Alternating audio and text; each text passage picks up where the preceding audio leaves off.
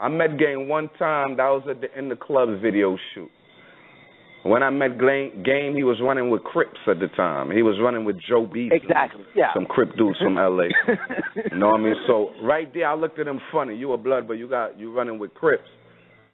You know what I mean? He ain't have no certified bloods around him at the time.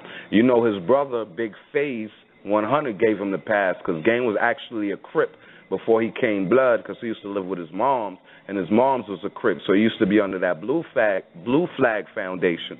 But then when he moved to Big Fase, he, he, he you know he, he had to drop that blue flag and, and and do the blood thing.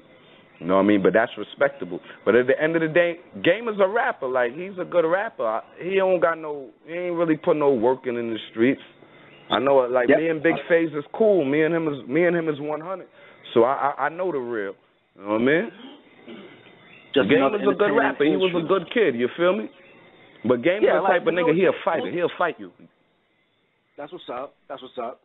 Like most of these niggas is entertainers. They entertain the people. Like they yeah, supplying the man. I guess. You know what I mean? Like at the end of yeah. the day, at the end of the day, all these niggas is entertainers. I don't care who it is. Like these niggas is entertainers. Whether it's your fifties, it's the Rick Ross or whoever. They entertainers, but they got some real niggas around them because they generated some money. They could pay real niggas to be around them. That's exactly what, what I said earlier. Like, yeah, crazy. Like a, a know what I mean? pay real niggas just so he can say like I affiliate myself with real niggas, mm. but that's not your homie. You only you only affiliate yeah. because of a business contract and shit. So you can't you, take credit for these niggas shit and shit.